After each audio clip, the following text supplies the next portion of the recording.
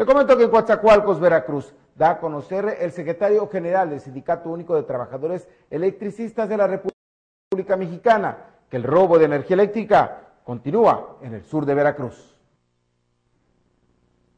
Continúan los robos de energía eléctrica en la zona sur de Veracruz, pues elementos de la Comisión Federal de Electricidad realizan diversos recorridos e inspecciones en las colonias de los municipios sureños con la intención de encontrar a quienes están de manera clandestina consumiendo este recurso. La Comisión Federal tiene establecidos diversos programas. En este momento en una campaña de cortes de aquellos usuarios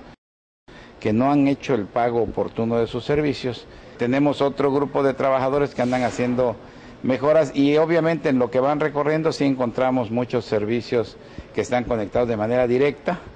el procedimiento establece que suspendamos el suministro, retiremos la acometida que alimenta estos servicios e invitamos a, los, a las personas que están haciendo uso ilegal de la energía eléctrica que pasen a nuestras instalaciones para regularizar el servicio.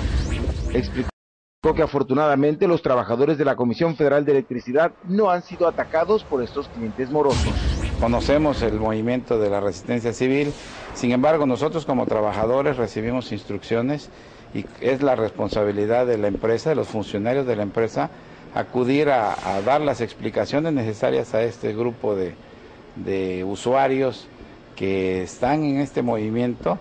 pero una vez que nosotros recibimos instrucciones de efectuar los cortes, pues los trabajadores acatan esta instrucción. Sin embargo, por como medida preventiva y para evitar daño a los trabajadores,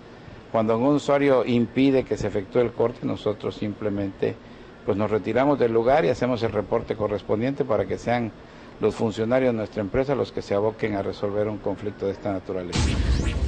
Para TVS Noticias, tvsureste.com, Octavio Contreras, Valencia.